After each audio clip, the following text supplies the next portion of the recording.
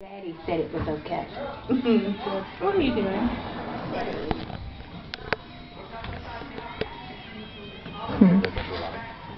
The screen is Well, tinier it than it feel used safe. It to. made her feel better. Probably gonna be Did you horrible. date an initial and everything? This girl is going good. All right, you can see they're not going to ever jump on that big old, So- big old python. It's as high as they are. Did they try? She did, Bradley tried, but there, She's gonna she, fall off backwards. she cannot do that. She must None of them can,